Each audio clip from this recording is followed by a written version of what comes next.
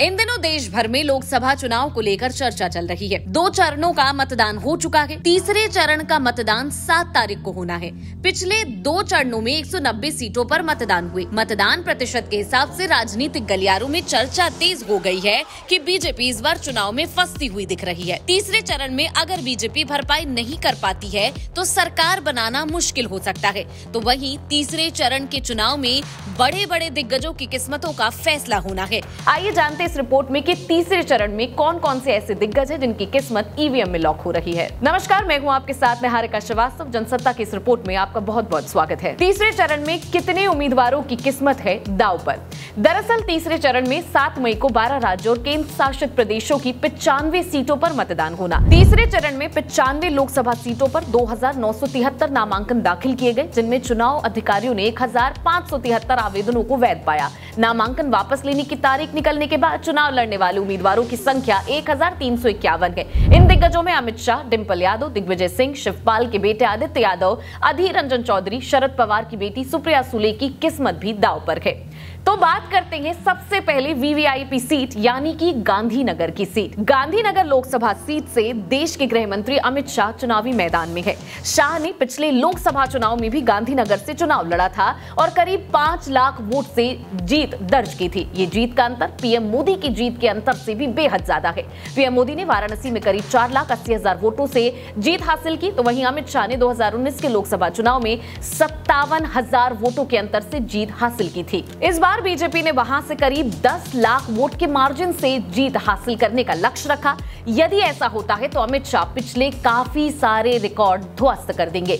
बता दें कि 2019 के लोकसभा चुनाव में सबसे बड़ी जीत हासिल करने का रिकॉर्ड गुजरात बीजेपी के अध्यक्ष सी आर पाटिल के नाम दर्ज हुआ। उन्होंने नवसारी से छह दशमलव आठ नौ लाख वोटों से जीत हासिल की। गांधीनगर लोकसभा सीट की बात करें तो इस सीट पर उन्नीस के बाद से बीजेपी का कब्जा है। अमित शाह से पहले यहाँ लाल कृष्ण आडवाणी सांसद थे। यादव लैंड यानी कि मुलायम सिंह यादव के परिवार का गढ़ मैनपुरी लोकसभा सीट से अखिलेश यादव की पत्नी चुनावी मैदान में है।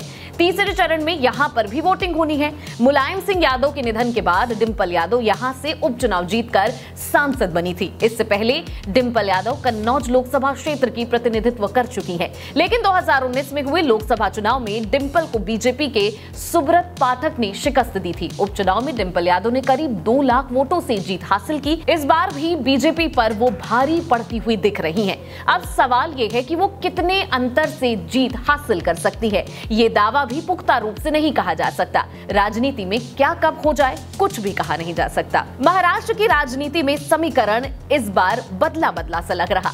जिस पवार परिवार के इर्द गिर्द महाराष्ट्र की राजनीति घूमती थी, अब वही पवार बारामती लोकसभा सीट पर आमने सामने है। इस सीट पर केवल कैंडिडेट का ही चुनाव नहीं होना। यहाँ की हार जीत से ये भी फैसला होगा कि आखिर एनसीपी का वोटर किसके पास है? शरद पवार या फिर अजीत पवार के पास?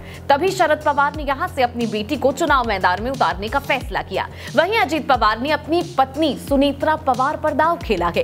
हालाँकि फ़िलहाल इस सीट पर सुप्रिया सुले सांसद है और मोदी लहर के दौरान भी शरद पवार ने सीट को बचा लिया था। तीसरे चरण में इनके भी भाग्य का फैसला होना है। मध्य प्रदेश की राजगढ़ लोकसभा सीट से कांग्रेस ने प्रदेश के पूर्व मुख्यमंत्री दिग्विजय सिंह को टिकट दिया। पिछले लोकसभा चुनाव में दिग्विजय सिंह ने भोपाल लोकसभा सीट चुनाव लड़ा था, लेकिन हार का सामना करना पड़ा। लेकिन इस बार अपने गृह लोकसभा क्षेत्र राजगढ़ से चुनावी मैदान में है। हालाँकि इस सीट पर बीजेपी का 2014 से कब्जा है और यहाँ से भाजपा के रोड मल नागर हैं। बीजेपी ने इस बार उन्हें राजगढ़ से अपना उम्मीदवार बनाया है। बंगाल में लोकसभा चुनाव को लेकर सबकी नज़रें टिकी हुई है। वजह है ममता बनाम बीजेपी।